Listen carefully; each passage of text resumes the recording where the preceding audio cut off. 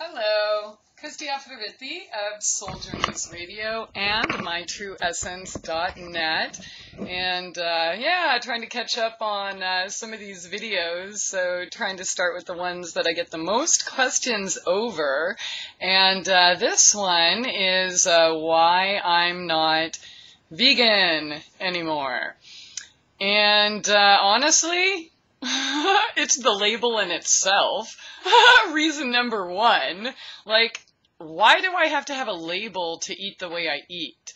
You know, because then it's like, oh my God, you're part of this club, and then people have all these expectations, and, you know, if you want some honey, then you have, you know, some, well, like 50 million mommies trying to tell you, well, that's not vegan, and, oh, you have a 20 year old pair of leather shoes and you know it's like this whole lifestyle that hey i totally respect people that can do it you know 100% and want to do it and um, not the nazis that just have turned it into this big crazy cult.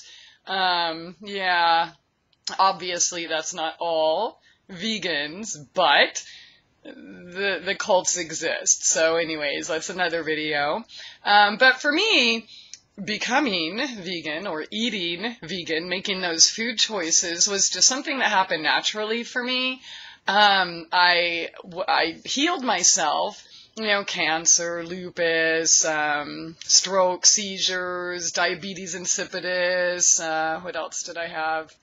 I can't even remember. It Feels like another lifetime. I was paralyzed in the waist down in a wheelchair. Uh, um, yeah, anyways, whatever all those things, I healed myself from that stuff before I was vegan. And, um, you know, I just always kind of thought, well, why do we have to eat this stuff? And didn't want to. So, and it, it was actually, um, initially, which was a good thing, I couldn't afford, you know, to eat meat or feed myself and my children. So it was, you know, beans and rice and, you know, more vegetables and a little bit of meat or eggs and stuff here and there, but not, you know, not a lot. And so it was, it was a really easy step, actually. Um, I never liked milk or things like that. I like a little cheese here and there, but I've never been a big, you know, cow pus person. It just seems weird to me. I just, I, I've never liked milk, so it wasn't something that I, you know, gave up or anything like that. Although I did use heavy cream for my coffee. Today I use cashew cream. Nothing better than that, though. Um, and by the way, if you want to make your own, it's just to go look at my videos for the almond make almond milk video, and same thing, but substitute cashews. Um, oh man, it's creamy and delicious. But uh, I just prefer plant-based foods. Um, I like a little fish here and there. Never really been like a big meat person, so I didn't do it to join a cult or to be looked, you know, looked up on or for others to approve of me or to, you know, to fit into some kind of religion or anything. I just did it as a natural course of events. It just kind of happened. And then I'm like, wow, this is easy. I could probably go without ever eating meat again. I, you know, it's like really no big deal to me.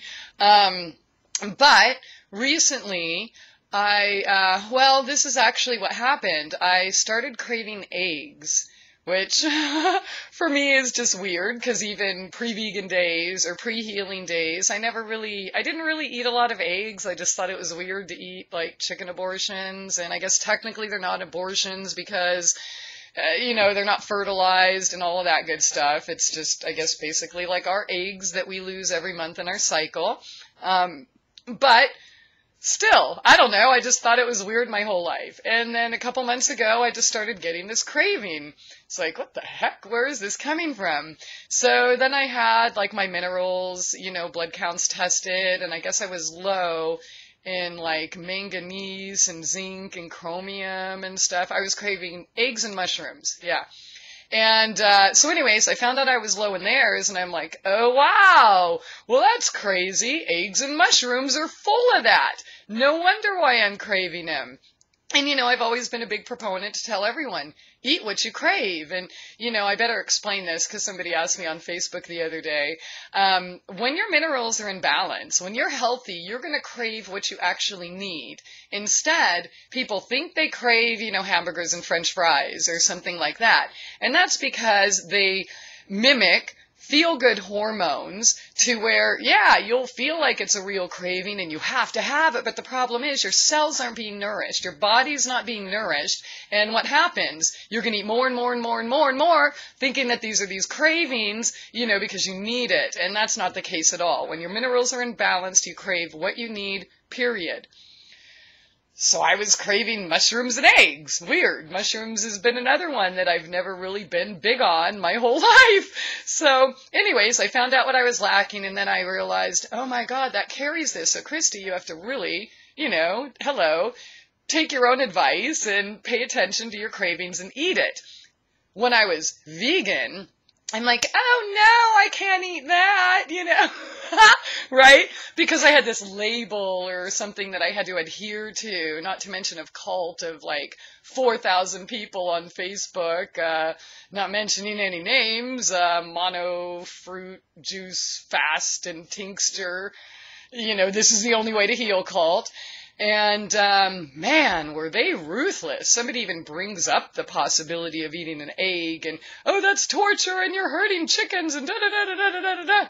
And I'm sure everybody can agree factory farming sucks. I agree. Absolutely. I don't support it at all in any way. That was another reason I quit eating any animal products because I didn't approve of that and I didn't want to until I knew a local, somebody, you know, raising whatever it is, clean, humane, antibiotic, hormone, vaccine free, all of that crap. Um, you know, which I did finally. So, anyways, I'm like, cool, let's get some eggs. Let's just try it out, see what happens. Oh my god, I think I ate them like five days in a row. Um, haven't had any for like a month or something now, but you know, that was a good lesson for me. And then, um, I started craving tuna um, I don't know, about a month ago or something, and I couldn't figure that out. No, I'm vegan. I have a badge, and by the way, I got people that are going to beat me up if I eat it, right? I know. I actually, I really cared less about the people beating me up because I think it's funny and pathetic and really freaking stupid. But um anyways, but still, you know, once you're like labeled with something, whether it's a disease or a political party or whatever, even if it's not true, there's like this expectation that you're supposed to fit in that box. So anyways, I got over that in like 4 minutes. Um so, um, anyways, I was craving fish, and you know, apparently I didn't have enough omega threes, and you know, I could just kind of see it in my skin. It was just kind of dry, and I felt kind of lethargic. And then I ate tuna with eggs, by the way, and celery and pickles, and oh my god, it was amazing. And uh, I felt better. It's like I got that boost that I needed. And then, if you've been following my teeth videos about regrowing or remineralizing my teeth, um, I always had like the holes in the, I mean, my whole life, the sensitive teeth, all of that. And that's because I was going to doctors and taking all their drugs. And then, you know, you find out after the fact that they cause all that, whatever. Sorry, it wasn't hygiene. I'm a Virgo dude. That's what we do. Okay. We keep shit clean, period. Um, so, you know, you can pawn it off on whatever you want. But the fact is, that front gap where all that decay was, was not there until like the last, uh, what are we in? We're in, uh, like two, less, less than two years. Well, guess what happened in that time?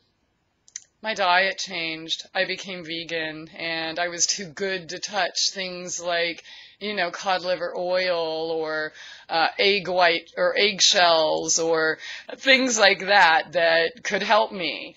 Um, so I did notice a decay there, a decline there, but that's the thing. It's just because I'm not vegan doesn't mean I'm, you know, eating a standard American diet. In fact, most of you would be shocked at how little I actually eat. I juice all day long. That's, that's, I don't eat a whole lot of food. And I mean, really, if I have uh, guests over or, you know, have an overabundance of something in my garden and I want to invite people over to, you know, make a nice meal or something. But, I mean, that's, I juice. I love to juice. I smoothies. I love smoothies. I love salads. I love beans. I love, you know, hummus, all types of beans actually, peas, be, you know, that's, it's just natural. It's innate in me. It's what I like. It's just, it's the way it is. So, you know, I mean, like, chill out on the, oh my god, you ate fish. Or when I ate the woodchuck um, in July, which was my first time eating meat, and oh my god, and the last time, incidentally, and that was July, August, September, yeah, so October, so three months ago. Um, like, I don't know, the judgments alone is another reason. Because I'm telling you, man, the way people act like that is just like one sure way to scare people away from whatever it is you're doing. And again, you know, I make my own choices, my own decision. That's not why I'm doing it or, or doing anything. All I'm doing is allowing what my body feels it needs. I got salmon. Um, I bought salmon and, and ate it last night for the first time. I, I don't even know how long. And it was awesome. And it was perfect. And my body thanked me for it. That doesn't mean I'm going to go eat factory farmed meat and destroy the planet every single day, okay? It's just, I want what's right for me. Denial doesn't work. Denial diet doesn't work, and I could have you know, been craving those eggs and mushrooms and never done anything about it and then been completely deficient, you know, completely run out of those particular minerals. And then what happens? Decline in health, okay? You can't deny it. And you say, oh, eat more chickweed or, you know, something like that, but come on.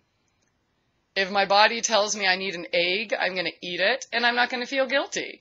I really would like to encourage everyone everyone to, I mean, again, I explained if your minerals are out of whack, you're going to be craving all, or thinking you're craving all sorts of crazy junk food. Been there, done that. Okay, pound of peanut M&Ms and, you know, three pints of Ben and Jerry's after, you know, a bunch of French fries and a Diet Coke and, so, you know, I understand those kinds of cravings, but I'm telling you, when your minerals are in balance and you have what you need, you're not going to crave that crap. It's just going to naturally go away like ice cream. I have no idea when the last time I ate ice cream was. And if I wanted ice cream, I give myself permission to have it, but I don't want it. So I don't know. I just think it's ridiculous to have to be known by a label. If you want to I mean, I don't even know what would my label be pescatarian because I'll eat fish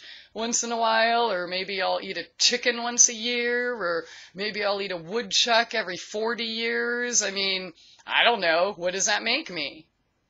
And why does it even matter? I mean, really, right? Oh, why aren't you vegan anymore? And, you know, what'd you do? Why were you part of this group? Why did it? Jeez Louise, you know, aren't I? I, I didn't know this was some super club that you're supposed to sign up for. And by the way, those attitudes and like pushing people away, that gets people, that, that makes it look bad. People think, oh my God, if I eat healthy, healthy, I'm going to act like that. Well, here's a question. All these foods that we think are, are healthy, we don't even really, I mean, the only indicator we have is how we feel. We've never tested how much potassium is in a banana, so we don't know. It's hearsay. We are taking their word for it, whatever we read in a book, right?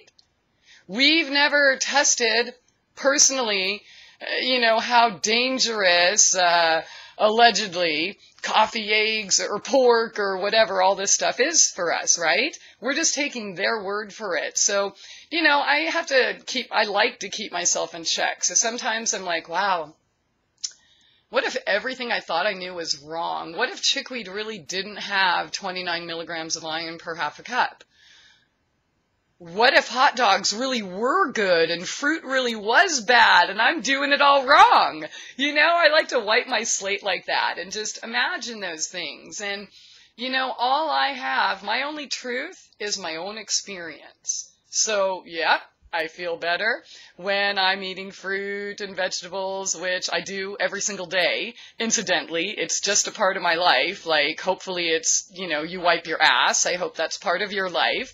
Um, we all urinate, right? So that, it's just, it's part of me. It's not going anywhere. I'm not leaving a club. I'm not supporting factory farms or, you know, any of these things, but all I have is my own experience. So, you know, ask yourself that. And, eh, you know, to the people that are like doing all these rigid diets because you think it's going to make you healthy, how do you feel? That group I was in with like 4,000 people, all day, every day was like, help, I have this, help, I have that. You know, well, in between, you know, pictures of poop mucus and urine sediment and things like that. But, um, you know, if what you're doing is working for you, then you would be healthy and you wouldn't be complaining about these things. I can say right here, I'm healthy. I don't have those types of problems. Um, so whatever it is I'm doing works for me. And, you know, in regards, I guess I might as well just rant some more. Why not? Video is already too long. But with the whole vegan thing, you know, beautiful, great, wonderful. Raw foodists, fruitarians, breatharians, vegetarians, whatever. This is retardedarians. Do what's right for you. But if you really want to be in harmony with nature, you have to realize if you're living in Siberia, eating a 100%, you know, raw vegan diet isn't going to happen. Okay? Not much fruit goes up, grows up there at all, if any. Okay, so here you are talking about being vegan to save the planet, right? But you want a whole bunch of stuff shipped in from South America. and then a lot of you, you know, expect it handed to you, or you expect, well, you know, it's just your entitlement. So you sit back and make your YouTube videos, you know, collecting welfare and, you know, cash from the taxpayers so you can afford your expensive raw food diet. You know, I watch, I, I like that fully raw Christina. She's super cute. Not talking shit at all, you know. She's cool and inspiring and fun and great and, you know, she also lives in the South though. So things like that are possible, but I watched her video, the uh, weekly raw food stash. And I added up all those ingredients to purchase here in Missouri. That would cost one person between eight and twelve hundred dollars a week for one person to get that food here. Okay? And most of it doesn't grow here. So we're getting it shipped in from elsewhere and, you know, at those astronomical costs. So when you're like railing on people for not being exactly like you, you know, you guys know who I'm, you know, you know, if you're listening to this video and getting mad, then I'm talking to you. But it's not practical and it's not in harmony with nature. God is not stupid. Shit blooms when it does because that's what we need in that type, that time of the year. Okay? Like cold and flu season. Well, what's blooming then? Uh, citrus, uh, you know, all of these things with high in antioxidants and what's what's blooming in the summer or the winter, you know, that's what we need. Okay? So, a healthy diet is more than just food or juicing every day and sharing your poop on a group and, you know, considering it a badge of honor. Okay, it's a total experience. And if you're going to be in harmony with your environment, you're going to eat what's in season mm-hmm, and what grows locally. Okay, so, you know, expecting northerners to rely on astronomical shipping costs to get things, the same fruit from South America year round okay, just is a little bit disconnected from nature, okay? You hear me? I mean, I understand. I love oranges year round. I love pineapple year round. I would love to have grapes and watermelon year round, but it's just not practical. It just, people can't do it. If you can do it and you can afford it or you live in a location where it grows locally, awesome.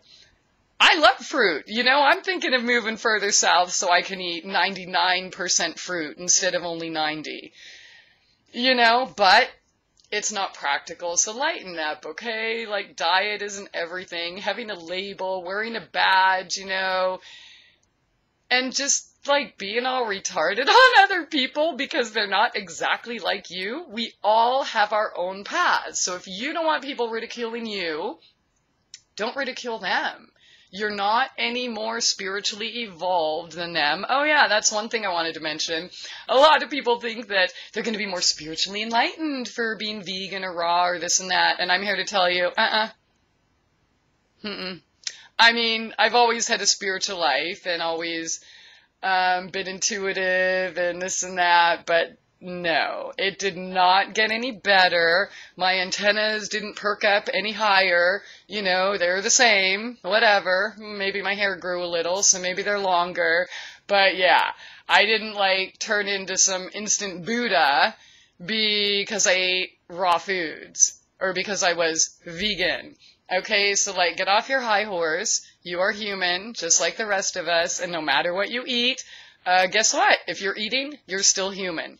So, anyways, so yeah, that's pretty much it in a nutshell. I was concerned about my tooth. I was concerned about the cravings and getting the minerals, and you know, I can, I can, I can eat greens for the next 10 years and not feel any cravings of anything else, but or you know feel like I have to have this or that. I mean, I never ate burgers. I never ate that crap anyways. I just I don't like it. So get off my back. okay. No, but I just I feel really good now.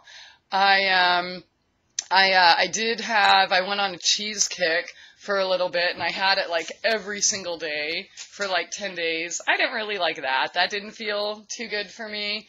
Um, but you know, they there's some really good raw cheese options, and uh, fortunately, we do have some locals. I really liked this. Oh, what was it called? Like Tipperary or something? Like a smoked uh, cheddar from Ireland. Oh man, that was really good. But again, I'm not a big cheese person, anyways, so I eat vegan mostly.